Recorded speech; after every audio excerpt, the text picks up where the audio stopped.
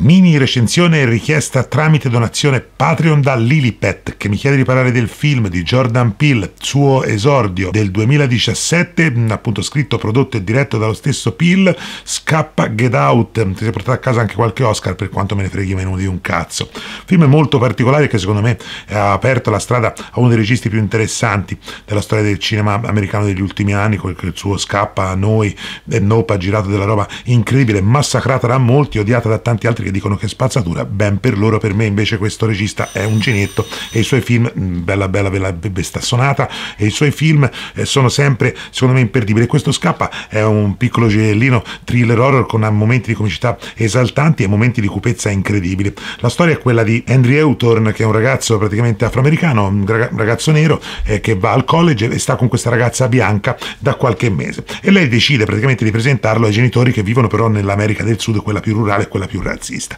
Il nostro decide di andarci nonostante il suo amico le dica dove cazzo vai lì, praticamente sono tutti nazisti. Il nostro decide di andarsi perché la ragazza le dice guarda i miei genitori sono buoni, non, non c'è problemi, non ti far fregare dalle solite cazzate. Lui quindi parte, va, arriva in questo paesino dove vivono i genitori che sembrerebbero davvero genitori insomma democratici, aperti e tutto il resto, finché non incontra anche la madre, appunto, che sembra però una persona un po' particolare, sembrerebbe un ipnotista, che gli dice che se vuoi smettere di fumare ci, met- ci pensa in due secondi, anche se lui è contrario, in realtà poi ce la fa a farlo smettere di fumare e di lì poi una eh, caduta nell'inferno quando il nostro praticamente viene presentato a questa festa a molti altri lo guardano in maniera strana arriva questo ragazzo di colore che lui sembra aver già visto e che ha un flash appunto gli urla scappa eh, get out levati vattene. A quel punto il nostro incomincia a notare delle cose stranissime e soprattutto incomincia a pensare che forse lo circonda non sia davvero quello che gli è stato detto all'inizio. Quindi un film secondo me è veramente bomba un, un esordio col botto per un thriller fantastico che ha una comicità eh, elevata sul, appunto sul nostro amico del nostro protagonista, interpretato da Lil Rowerty, che fa appunto Rod, e poi c'è tutta la famiglia, uno più bravo dell'altro, tutti gli Armitage, Rose che è una splendida Alison Williams, un ottimo Bradley Whitford a fare Dean, una clamorosa Catherine Ann Nivera a fare la grandissima Missy Armitage, è un film che, che secondo me è un film veramente che fa paura, nel vero senso della parola, prima di tutto è un film sociale e politico, un'altra volta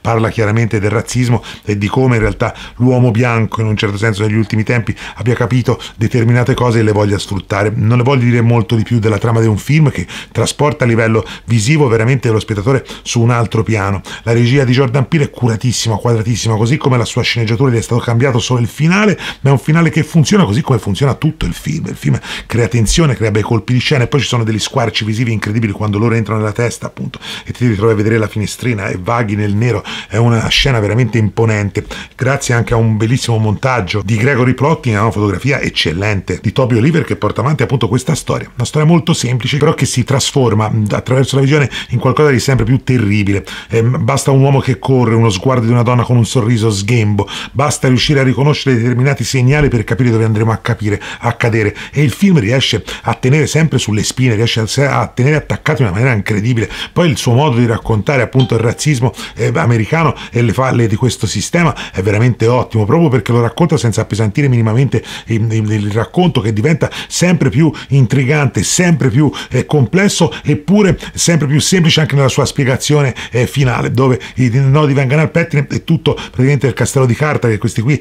diciamo alla fine del secondo atto si erano costruiti incomincia a crollare eh, davanti alla forza di un uomo che cerca di salvare se stesso e soprattutto l'anima di se stesso, lo sguardo, eh, il suo, il, suo, modo, ecco più che il suo corpo. Eh, fa voi vedere il film perché quei pochi 14 che non l'hanno visto, ma ripeto sono tantissime anche le parti comiche, l'altro che praticamente ci prende dall'inizio che gli dice eh, ti faranno diventare uno zombie per fare sesso, è geniale e poi c'è tutta un'idea appunto di costruzione fra i personaggi che non è per nulla banale, proprio a livello di dialoghi scritti benissimo, poi a livello di messa in scena che ripeto eh, si muove con dei piano sequenza fantastici, dei piccoli movimenti laterali che svelano più di mille parole. Jordan Peele è uno di quelli che fa parlare la regia, fa parlare le immagini, è un, un super cult, uno di quei film che guarderei 650.000 volte con un grandissimo attore protagonista, Daniel Kaluuya che qui interpreta alla stragrande Chris che insomma cade con tutte le gambe in una trappola eh, che probabilmente sarebbe annusabile anche da lontano ma che non sembrerebbe più possibile appunto nel 2017 a voi scoprire questo film per chi non l'ha visto se sentite dire che Jordan Peele fa ca fatevi la vostra impressione perché secondo me Jordan Peele è uno dei migliori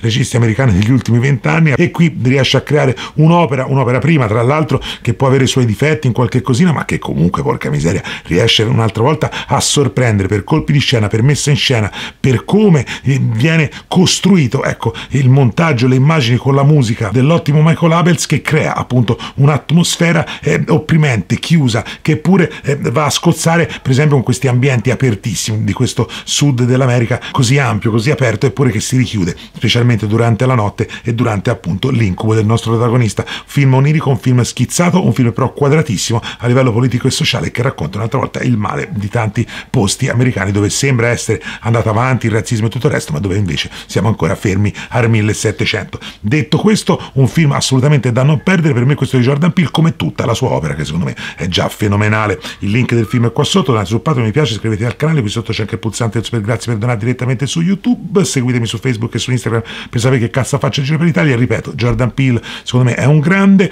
ehm, questo film è bellissimo, è inutile al perdere altre parole, guardatelo, guardatelo, guardatelo e poi decidete se comprarlo, secondo me se lo guardate una volta lo comprate al volo perché è un film che ogni visione riesce a regalare sempre nuove cose, nuove emozioni, nuova voglia, insomma di scoprire i piccoli dettagli. Ottimo lavoro di Jordan Peele che secondo me con i film successivi farà ancora di meglio, veramente un grande autore che sta nascendo nonostante gli haters e quelli ci sono sempre.